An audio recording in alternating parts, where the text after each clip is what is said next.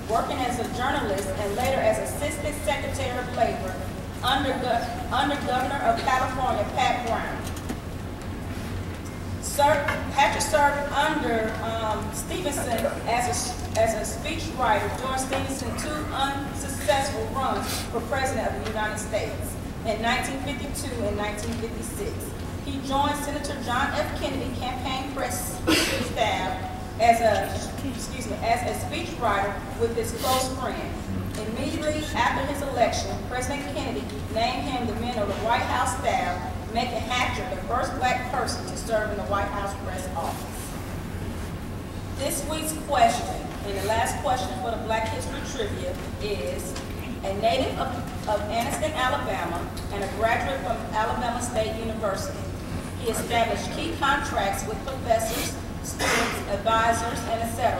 that held the door open for African Americans to gain access to jobs in the South that previously remained out of reach. You have until next Sunday, 10 o'clock, to have your response. We will acknowledge those um, winners in the first Sunday in March. Thank you.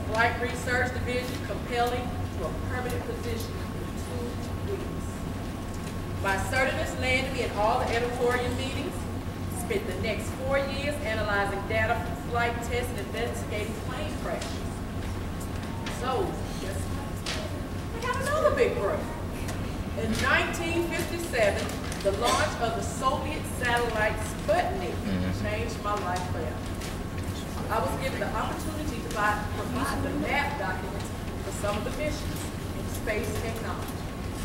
So engineers from the research division and the pilot aircraft research division formed the core space task group. And yes, I came along with that group. So, and late in 1958, it became known as what we call now the National Aeronautics and Space Administration. And I helped calculate 1961 Mercury mission. And then, lo and behold, what everybody knows known for in 1962, when the astronaut John Glenn needed calculation for his space mission. You see, astronauts were a little weary about putting their lives in the care of electronic machines, which were prone to hiccups and blackouts. So yes, you guessed it, they told him to get the girl.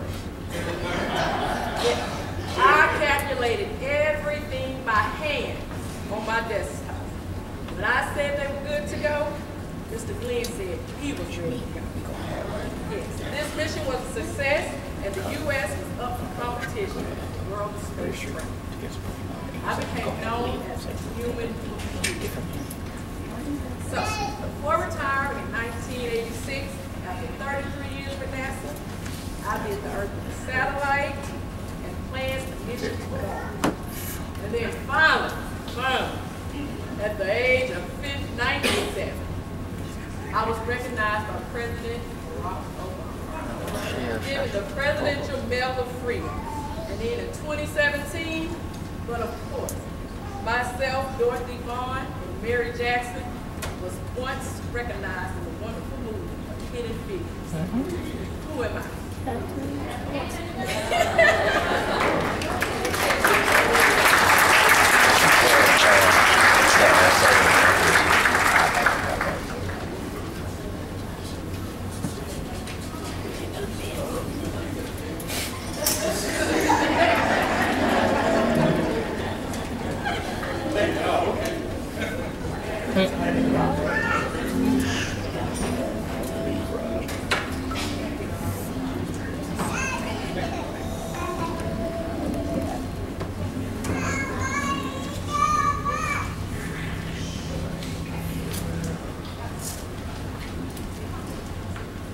Good morning.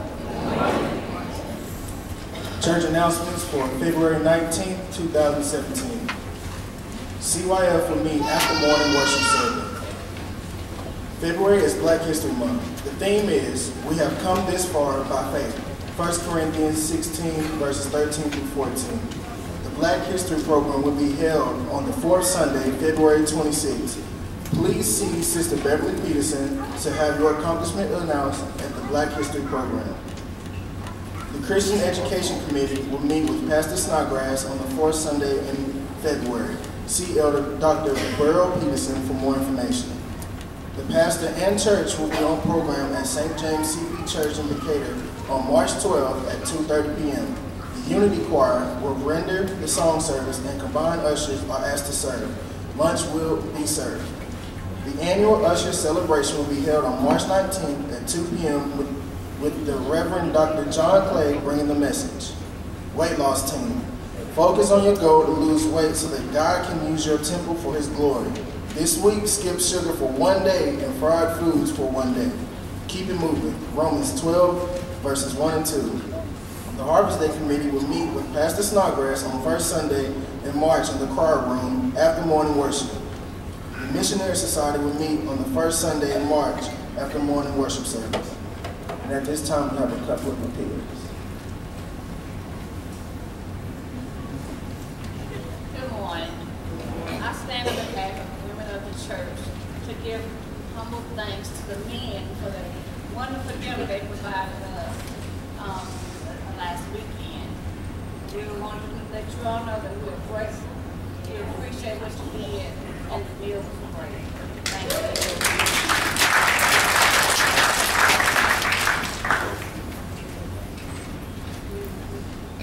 Thank you very much.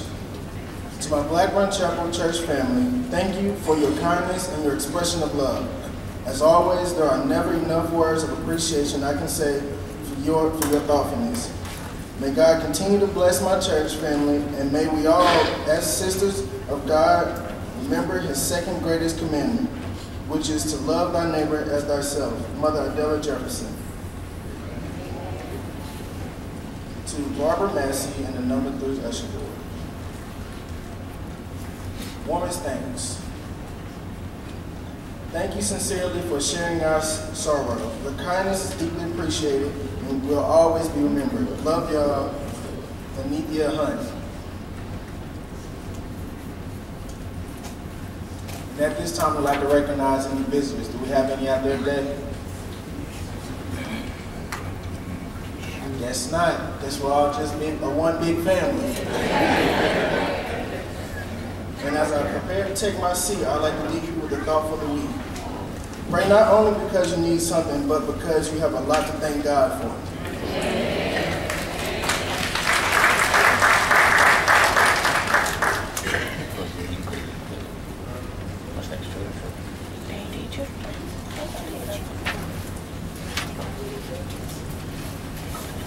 Good morning.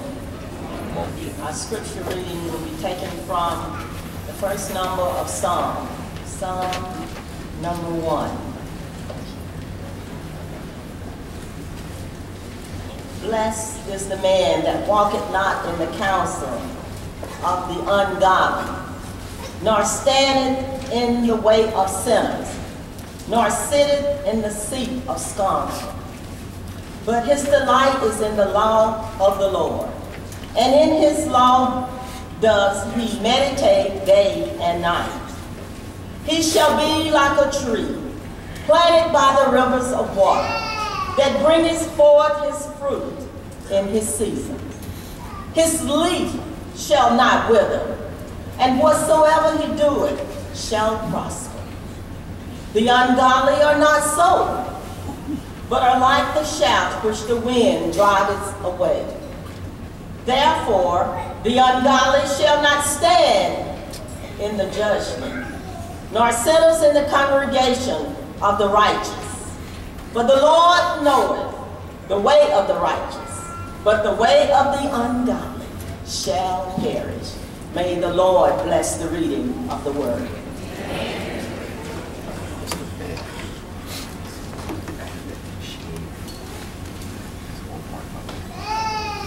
It is now time for our offering. You may come forward.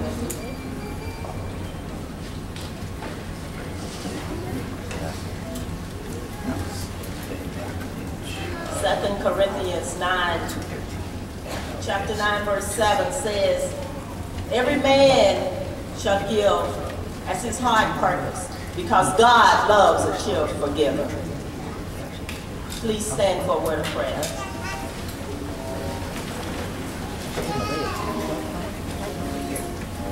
Father, we come this morning thanking you for our many blessings you have bestowed upon us. Father, we come thanking you, God, for caring for us and taking care of us through this past week. Father, we just thank you for being God and God alone. Now, Heavenly Father, we're getting ready to lift an offering. Father, we know that There is nothing too hard for you. And all things are possible through you. So Heavenly Father, we ask God that this, the money that be lifted up here today be used for the upbuilding of your kingdom. And Lord, we will be so happy to give you the praise, the honor, and the glory for all of your many blessings. For it's in Jesus' name and for his sake I pray. Amen. Dr. Drew. Nope.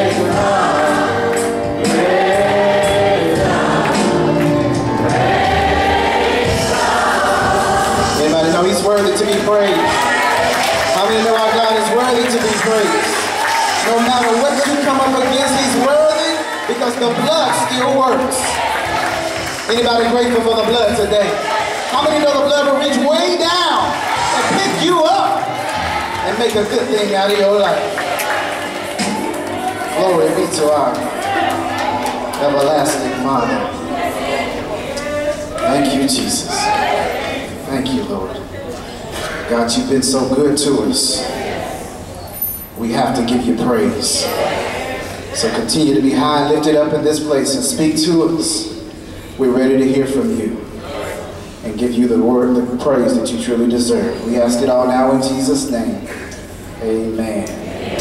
Amen. Go with me, if you will, to the book of Jude. Jude in the New Testament, the second to the last book in the entire Bible, just before Revelation, you'll find Jude. We had our traditional service a couple of weeks ago and we did our doxology there, but this is a doxology type of message that we want to reflect on praising and thanking God for what he has done for us.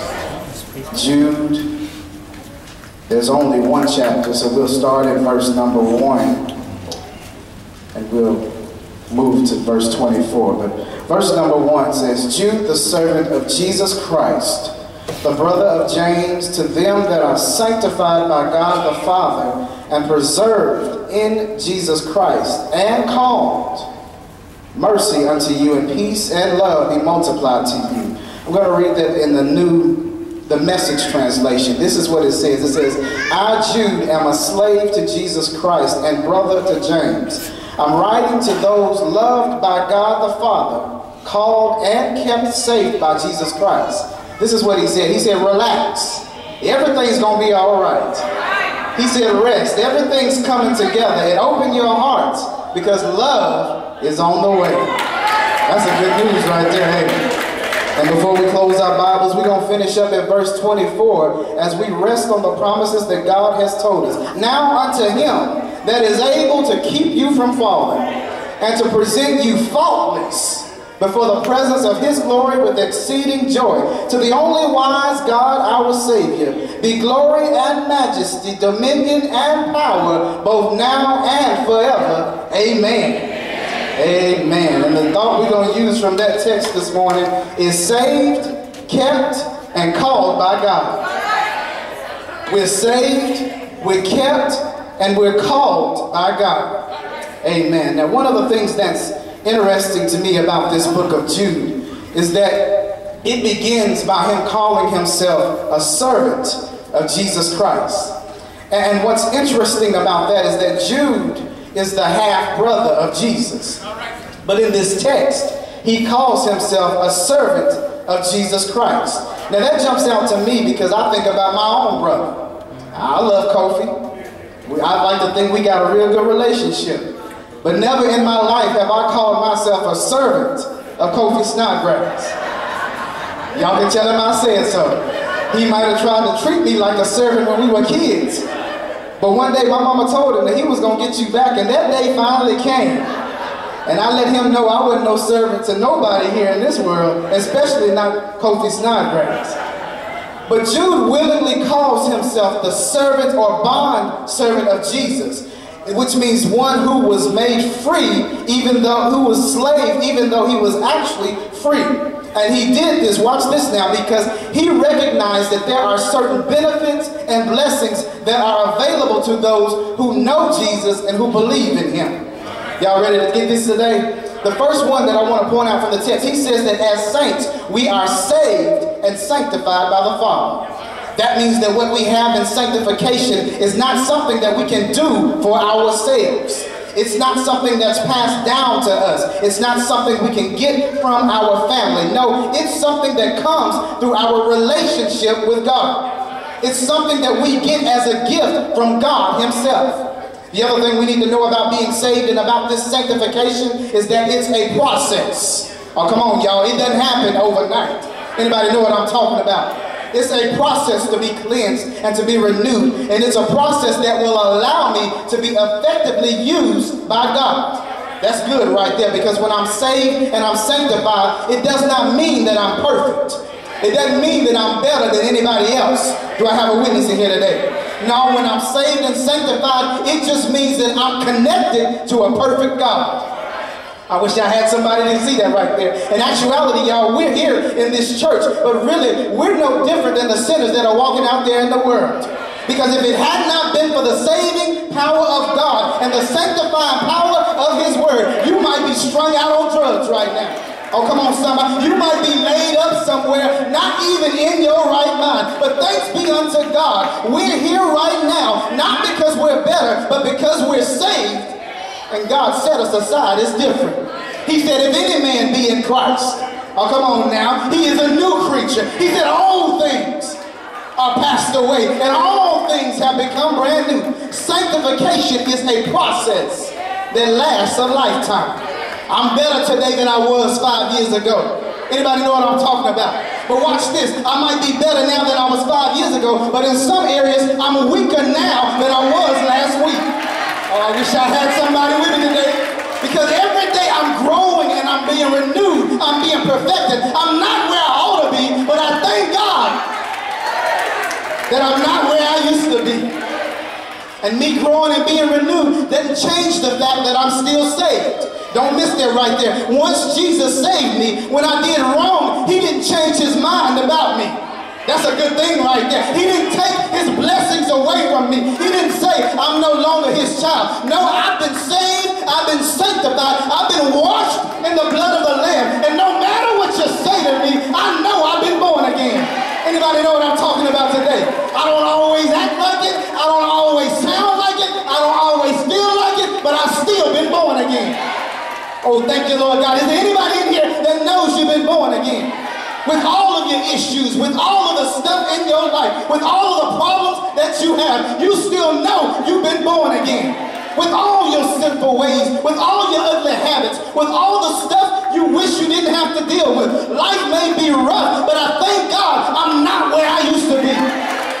That's something somebody had a shout about right there. That's a real doxology. That's when you know when to give God praise. God doesn't love me because Jesus died for me. Jesus died for me. Come on, somebody. Because God loved me. Oh, y'all want to get that right there. God didn't wait for me to get to the cross so that he could love me. He went to the cross because he loved me. He sent Jesus to die for me because I couldn't save myself. He me. He did it before Jesus ever came into this world. That's something to shout about right there. That's something to be happy about. That God didn't wait for me to get my act together. He didn't wait. He said, while we were yet sinners, Christ died for us. I was accepted in the beloved before the foundation of the world. Before I even wrapped my mind around what I could do wrong, he already saved me and said, I still can make a good thing out of your life. Thank you, Lord God. The other thing about sanctification is it makes me realize that God really loves me.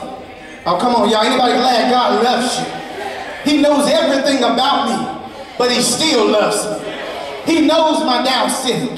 He knows my uprising. He knows the mistakes I've made, but somehow he still loves me. He knows my thoughts even before I think them. He knows what I'm going to do tomorrow that's wrong. But watch how much he loves me. He went on ahead of tomorrow and made a way for me tomorrow because he loves me enough to know that tomorrow can't stop me from being loved by him. I wish I had a sinner like me that was glad God still loves me. I wish I had a crook, as my granddaddy used to say, that can help me testify that when I get up in the morning, there's brand new mercies. Day after day after day, waiting on me. Great is thy faithfulness. Thank you, Lord God. I'm sanctified. I may not speak in tongues, but I'm sanctified. I may not be anointed with oil, but I'm sanctified. I may not roll on the floor three times, but I know that I'm sanctified. I may not always dance, but I know I'm sanctified. There's nothing you can do to let me know that I'm not saved by God.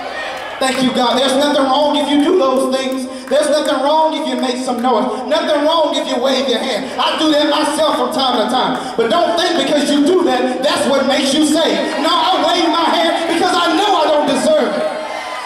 Bless your name, God. I wave my hand because I know that at the end of this thing, despite my mistakes, despite my failures, I got to praise Him because I know that in the end, I'm still going to win. Bless your name, God. So that's the first thing Jude says, that we're saved and we're sanctified. Now the second thing he says is not only am I sanctified and saved, but I am preserved or kept. Anybody know that you're kept by God? Bless your name, God. You, the servant of Jesus Christ, the brother of James, sanctified by God the Father and preserved in Jesus Christ. I'm not saved and preserved and kept in Tramaine. I'm kept in Jesus Christ. I'm secured by Jesus Christ. I'm kept by God. After God loved me and sanctified me, He sent His Son to keep me and to protect me and to secure me. That's what it means to be secured and kept by God. When He talks about being preserved and secured, that means He watches over me. It means he takes care of me. He's keeping his eye on me. Anybody glad about that today? It means that God is observing attentively everything that happens in my life. That way nothing can hurt me and take me out of his sanctified hands. That's what it means when the Bible says, no weapon formed against me shall prosper. If it comes in my life, he let it come so he can get some glory out of it. Oh, that ought to be a good shouting place right there. My sickness, it might not feel good, but it came to bring God glory. My problems, I might not like it, but at the end of it, he's still going to get some glory. The trouble that I have, it came from his glory. Anybody know what I'm talking about today? Watch Tramaine, because if I never had a problem, I wouldn't know he could solve it. Look at God making a way in your life. If I was weak and unable to handle it, he never would have allowed it to come in my life. But the fact that it showed up on my doorstep means that God gonna help me get through it. Bless your name, God. How many know that God will make a way where there is no way? God will protect you when you can't protect yourself. God will keep you when you don't know which way to turn. Has God ever made a way in your life? That's why I praise him. That's why I clap my hands. That's why I give him everything I got. Because I know that he's going to make a way in my life. Bless your name, God. I ought to at least give God my best when I'm in this church. Watch your man, because he was saving me when I was giving up and giving my best in the world. Let me help you out with that real quick. I'm not going to make you tell on yourself. I'll tell on me today. I'm sanctified. I'm saved. I ought not give the devil more of my time than I give my Savior. Y'all gonna hear me today? Let me give you an example. You, you, you can turn on, you can turn on some R. Kelly right now. The, the, the happy people R. Kelly, not the 12 play R. Kelly. Come on, y'all, stay with me. Let's try to stay a little bit holy and sanctified. But you can turn on R. Kelly right now.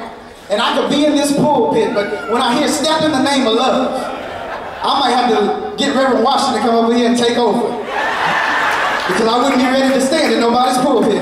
Anybody know what I'm talking about?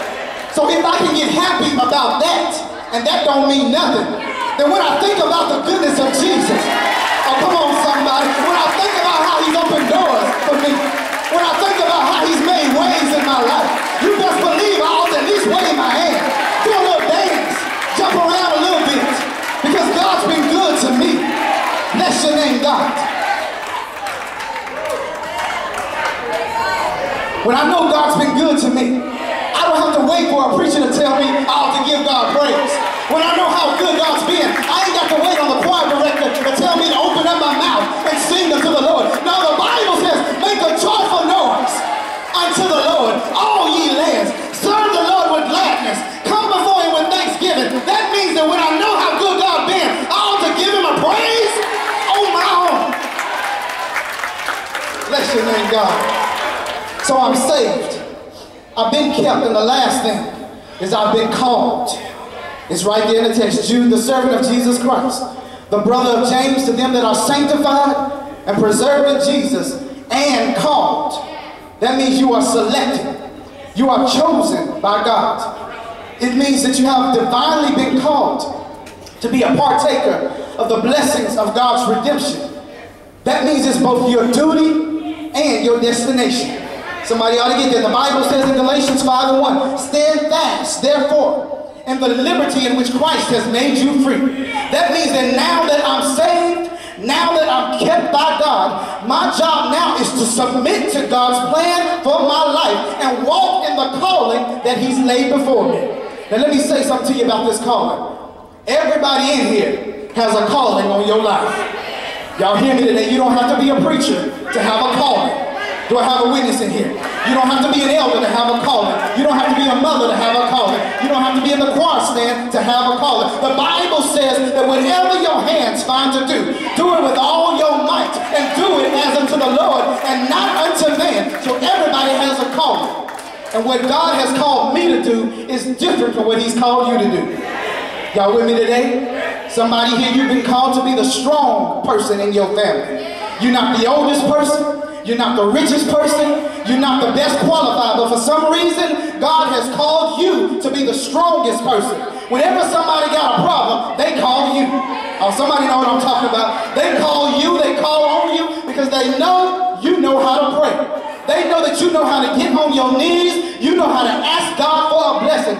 You know that they know that whenever they're stressed or something they can't handle, they call on you because of the God that's in you. Not because they know that you're so good. They know there's something about your worship. There's something about your praise. There's something about your walk that lets them know there's a God somewhere. Do I have a witness to get in here today? Some people are called to be the helper of the people on your job. They're drawn to your strength. They're drawn to your endurance. They believe you can stand up to anything and they don't understand how you do it. They don't know that behind closed doors, I'm on my knees every night saying, Lord, I don't know which way to go, but I'm so glad I ain't got to figure this thing out by myself. So I'm going to lay my burdens down and pick up my blessings and that's why I'm going to get through this. Bless your name, God. Some of us are called to be a helper to somebody else. You got your own bills, but you find a way to help them out. Come on, come on, come on, stay with me. You, you got your own problems, but you help them with their problems. You got your own sickness, but you find a way to take care of them. God has called us to be special people, to be lights for people that can't do for themselves. It's an effectual calling. Everybody does not have the same one. Everybody can't smile through adversity. Y'all with me today? Everybody can't wave their hand when things ain't going good. Everybody can't come to church when the bottom is falling out in their life. Everybody can't handle God's plan for your sickness. And let me tell you something about sickness. Every sickness is not sent by the devil. Now come on, stay with me. Now every, every bad thing that happened in your life is not sent by the devil. Sometimes your sickness is sent to you by God. Let me show it to you in the text here. Paul said, I had a thorn in my flesh.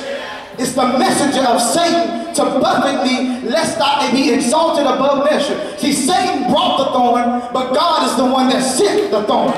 Somebody need to hear that today. He said, I cried to the Lord three times to take it away from me. But God said, no, I'm not going to take this one away from you.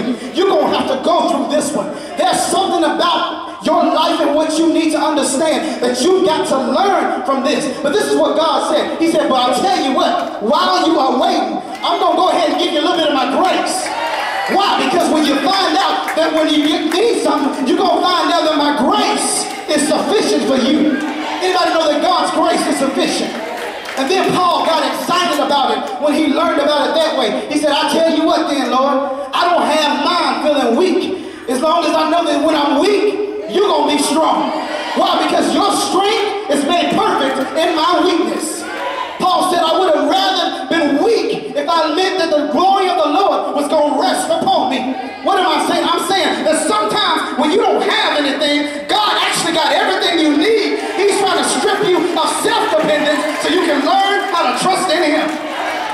Bless your name, God. So whatever God calls you to do, He's going to bring you through it. Some of us have been called to go through life with no children. But in their calling, God has shown you how to be a blessing to somebody else. Do I have a witness in here? Some of us have been called for a time of singleness in our life. You want to be married. You thought that you would be married by now. But God has not let it happen yet. First of all, perhaps maybe saving you a little bit of trouble. Because watch this, every happy home ain't a happy home. Oh, I'm going to say that again, y'all. Every marriage is not a happy marriage. So maybe God knows something about you and what your road entails that you don't know for yourself. So you ought to be careful about what you ask for because you just might get it. I ain't gonna leave, I'm gonna go on, I'm gonna keep moving forward.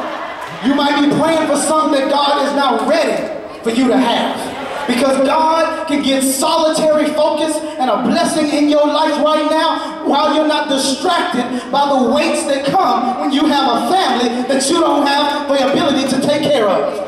God may be saving you so he can get your attention so that he can prepare you for the next stage of your life. Why? Because if you move ahead of God and start putting stuff together, let me tell you something. God is not obligated to bless your mess. Bless your name, God. So God has a plan for everybody. And once God saves you, once God sanctifies you, once he keeps you and calls you, then the question comes to mind, how does he keep everything together? How does God keep his sanctification strong? How does he keep me secured and kept by his blood? How does he keep his calling sure in my life? Because the devil is always trying to snatch you out of God's hand. Do I have a witness in here today? The devil is always trying to take you away from God's purpose for your life. So how does God keep everything going and keep everything strong? Well, that's the beauty behind verse 24. Verse 24 tells me exactly how the Lord makes a way in my life. It says, now unto him. Let me pause right there and tell you a little bit about him. How many know he's a rock in a weary land? He's a shelter in a time of storm. A friend when you're friendless. He's bread when you're hungry. He's water when you're thirsty. Anybody know him in here? He's God's only son. He's Mary's baby boy. He's Abel's vindicator. He's Abraham's ram in the bush. Anybody know who I'm talking about today? He's Matthew's king. He's Mark's suffering servant. He's Luke's great physician. He's the word of God made flesh in the book of John. In Acts, he's the Holy Ghost that came and breathed on his people. Anybody know who I'm talking about today? He's somebody that you can depend on late in the midnight hour. He's somebody that you can trust in when you don't know which way to go. Now unto him, this is the part I like, who's able. That's the part I like right there, y'all. Y'all allow me to get happier for a minute. Why? Because I know that he's able. Anybody know that he's able? That have been closed in your face.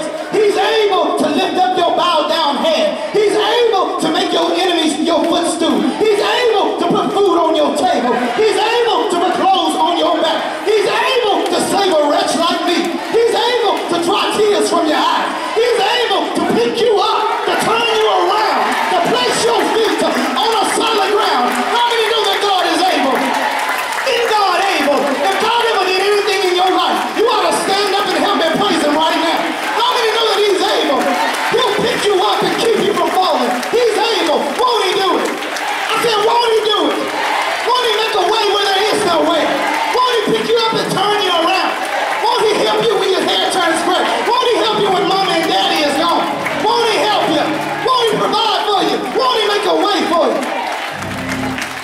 Now unto him that's able to keep you from falling. And watch this, and to present you faultless. Oh, that's a good place to get happy right there. Faultless. All the mess I've been through, he presents me faultless. All the mistakes I've made, he presents me faultless.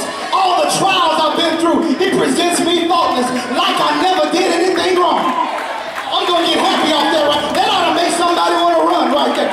He presents me like I've done good all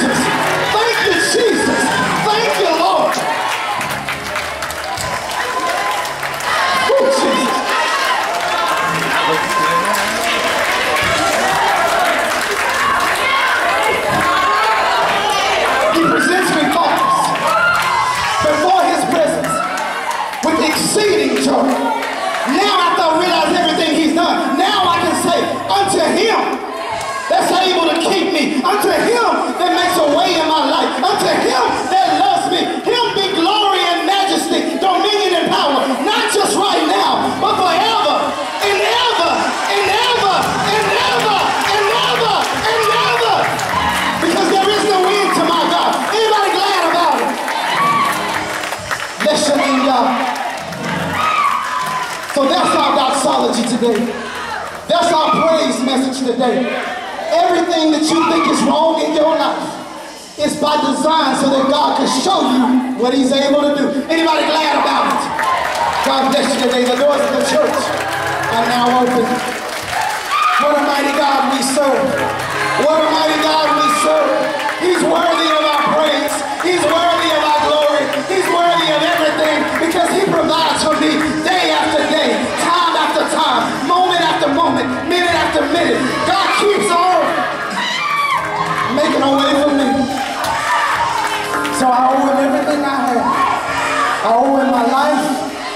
I owe him my focus. And I owe him my praise. Amen. So if I were you and I didn't know him for myself, I wouldn't stay out there by myself. I would come to this altar, give him what I have, and watch what he can do in your life. Would there be one now as the choir begins to sing? This is our time to turn everything over to the Lord and receive what he has for us. He's a good God, y'all. He's a mighty good God. And he stands ready to respond to our every need. You can come right now.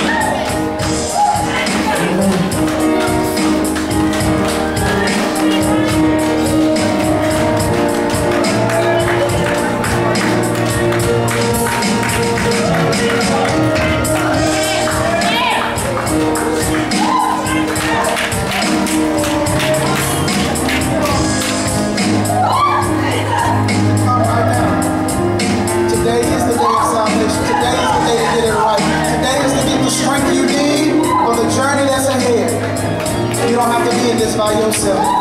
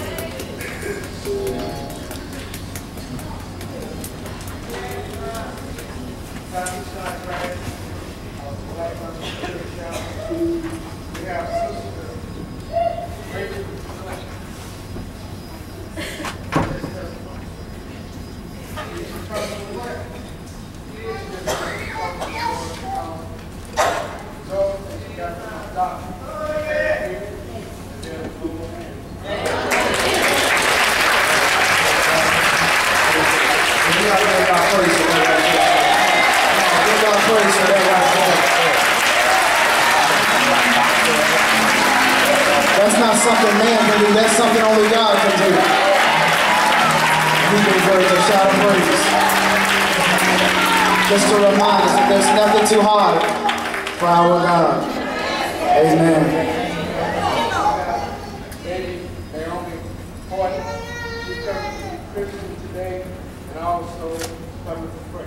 Amen. I'm going to do something different right now. I'm going to go ahead and have the altar prayer now. There's a glory in this place right now, y'all. Come on to the altar. If you got anything you need from the Lord, while I pray for those that have come, we're going to have prayer right now. Because when God inhabits the praises of his people, he stands ready to be and to do anything that we stand in the need of. He sends Sister Flint to remind us, now is the time to call on me. Now is the time to trust in me. Now is the time to turn things over to me. Because there's nothing too hard for me. So those that have come for special prayer, come join me over here. Come over here with me. And anybody else that needs prayer, this is the time to come. This is the time to come. Amen. Let us come standing in faith. Faith is all we need. We don't need the answers. God has the answers. All we need is faith and a confidence in who He is and what He's able to do. And He can and He will make a way in your life. How many know He'll do it? If you've tried it, you ought to testify and stand firm in faith that God is able.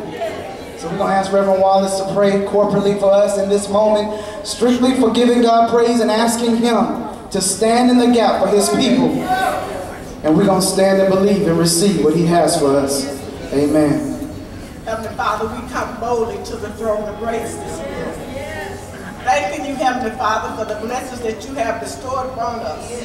But Lord, we thank you, Heavenly Father, for blessing us to be obedient to your word, Heavenly Father. Heavenly Father, we thank you, Heavenly Father, for allowing the Holy Spirit to move in a mighty way this morning, Heavenly Father. Lord, we thank you, Heavenly Father, for seen and unseen miracles that you're going to bless us with, Heavenly Father. Heavenly Father, we thank you, Heavenly Father, for the testimonies of our sister this morning, Heavenly Father. To give us encouragement, Heavenly Father, to continue to trust in your word, Heavenly Father, and stand on your everlasting word, that your word should not go out, return void, Heavenly Father. Heavenly Father, we come to you thanking you, Lord. Thanking you, Heavenly Father, for standing in the gap for us this morning, Heavenly Father. Heavenly Father, we, we gathered around the altar, Heavenly Father, for one thing or another, Heavenly Father. But believing that you have the wisdom and power, Heavenly Father, to provide the blessings for any and everything that we stand in the need of, Heavenly Father. Heavenly Father, we come asking you to allow us to use the teaching that we received on today, Heavenly Father, as a guide as we go out throughout the next week, Heavenly Father. Let the word burn in our hearts, Heavenly Father. Heavenly Father, we, we come, Heavenly Father, as a weakling this morning, Heavenly Father. But we know you can make us strong, Heavenly Father. Prop us up, Heavenly Father, when we feel like we're falling down, Heavenly Father. And Lord, don't forget about those on the sick list, Heavenly Father. And the bereaved, Heavenly Father. Comfort them, Heavenly Father. Be what they need this morning. And Heavenly Father, I come interceding on behalf of Tommy this morning. The doctors told her she had stage four cancer. But Lord, we believe in Heavenly Father. If you can heal one, you can heal all. her family, Heavenly Father. And continue to strengthen them, Heavenly Father, as they stand by her side. Heavenly Father, bless all those that come in contact with her, Heavenly Father. And Heavenly Father, as we go out throughout this next week, Heavenly Father, let us be a beacon of a light shining upon a hill. Yes. That someone would want to know the man in which we serve, called Jesus. Heavenly Father, we say these things in the mighty name of Jesus. Amen. Amen.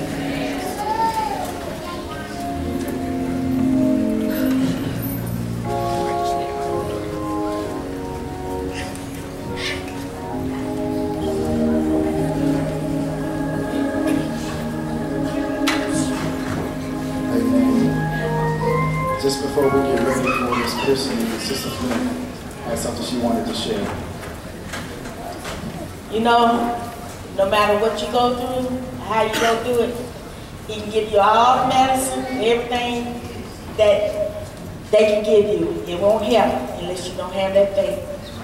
If you don't have that faith, you can hang it up. Because I had it. So when I went to the doctor, and three of them, and they told me, they said, we're gonna stop the test. I said, what you stop the test for? He said, well, we can't find nothing. So they went and got another one, the main doctor. He said, there's nothing there. I said, well, get my clothes. Let me get out of here, y'all got somebody else. The, the funny thing about it, he said, I can't let you go until you drink some water or some drink. I pulled it all down. And I'm walking, it's still going on. And I'm gonna keep on going on, so y'all keep on praying. Bible teaches us we overcome by the blood of the Lamb and the power of our testimony. When we go through something and God brings us out, it's not always just about us. It's to help somebody else. Amen. So we thank God for her sharing and reminding us of what God is able to do. Amen.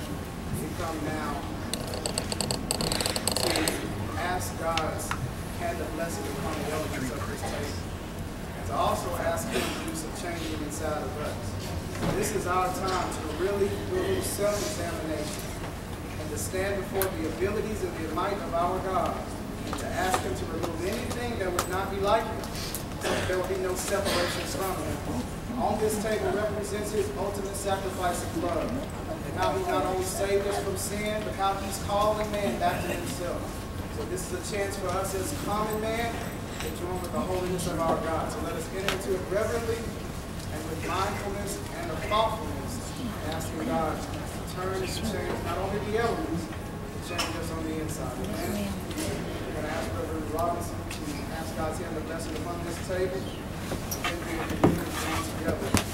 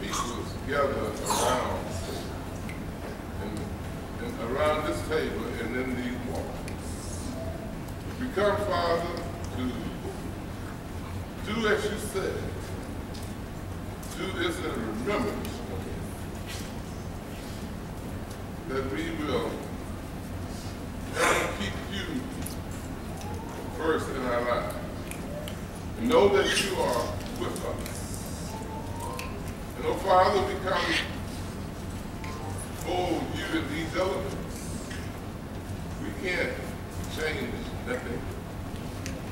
But, oh Lord, we know that you are able to change things.